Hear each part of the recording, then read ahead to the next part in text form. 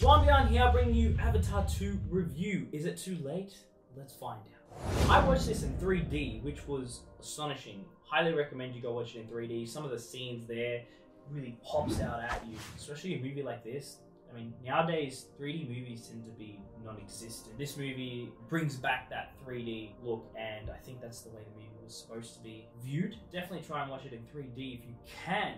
But getting into the review, the big elephant in the room, the CGI. That's where most of the budget seems to have gone, which is honestly not a bad way to spend your money. the studio's money. James Cameron literally went above and beyond with this movie. He decided the whole film is literal VFX. It focuses on the oceans of Pandora. This movie really made me feel like I was literally there alongside the characters, you know, experiencing Pandora, experiencing the narrative unfold. I do have to say, film does a really good job at establishing the setting and reintroducing a bunch of these characters that were already there from the previous movie, right? Because Avatar 1 came out back in what was it like 2013 2009.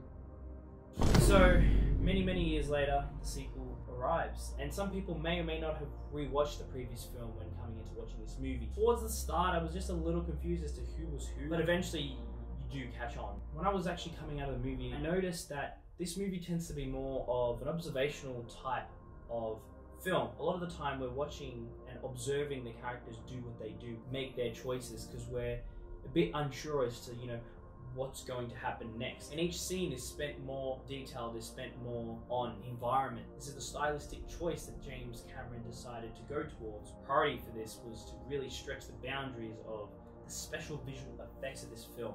Personally, for me, I couldn't see myself watching this movie twice. It's very hard for me to go and rewatch a movie once I've already seen it. Not saying that it's a bad movie, I just personally think given a long runtime, I kind of have to really be in the mood to go watch it because I remember James Cameron pretty much saying that, hey, since it was a long runtime, you know, don't worry, go to the bathroom anytime because you'll be back to watch it again. Yes, it's a good movie, but if I'd missed a scene, I probably wouldn't spend premium cinema ticket price to rewatch that movie, or I'd probably forget about it. I also enjoyed the uh, the choice of the antagonist of this film. Uh, Stephen Lang plays the same villain as the first movie, but this time he is reincarnated into avatar form. Now he's actually got the powers, the strength of an avatar. Him, Jake, match. Touch base on the plot. Colonel Quaritch, you know, has his vendetta. He wants to get revenge on Jake. The humans, something's happened on Earth. They want to pretty much use Pandora as their new home. You've got the Sea Marines there. They're harvesting the Pandora's versions of whales. Point is, they're harvesting the whales for their brain juice because their brain juice actually stops the aging process. So in saying that, you know, I know this story was told from the Avatar's perspective, but it just made me think like, what if it was actually told from the human's perspective? What I'm trying to say is you can't really blame humans for doing what they're doing. Not all problems are black and white. Sometimes they're morally grey. I guess it's something to think about. Yeah, look, this movie, it does not feel conclusive because we do know that there are plans to have five movies in the series. Storyline wise, this movie does feel part of overarching storyline. It did complete the storyline for the movie, but it just felt like there was obviously still more bases to be touched upon. There's still humans on that planet that want to populate Pandora and transform Pandora into their new home, which I think the following movie will probably delve into. Actually, an interesting morally dilemma because it's like, hey, humans need a home. Can they maybe coexist? Or is it just going to be all out war survival of the fittest? Guess we'll know in a few years, huh? One thing I kind of was like, really? Was more or less one of the only human characters that were part of the Avatar tribe, Spider. Turns out to be Colonel Quaritch's son. He stumbles upon Colonel Quaritch drowning and then he looks at him and he's like, ah, fine, I'll save you. And I was like, why would you save a man that if you're aligned with avatars, you know, the Avatar tribe, and he captured you and forced you to do these horrible things? But I understand why they did it. They needed to continue the movie to make five more movies, so you know, there's some sort of overarching plot left there.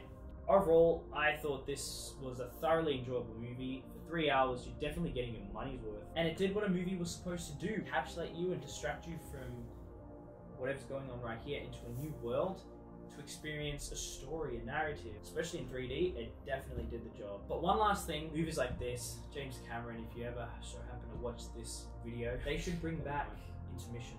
Especially, I don't know what the future Avatar movies are going to be like. They're going to be long, I'm all for it. I'll enjoy. I'll take that three hours. But I'd like an intermission. It Gives people a chance to fill up on their food because I know if I'm having popcorn or drink, that's all demolished in 10, 15 minutes. Even in the previews and the movie starts, like, oh, my popcorn's finished. Especially if I get like a small or medium.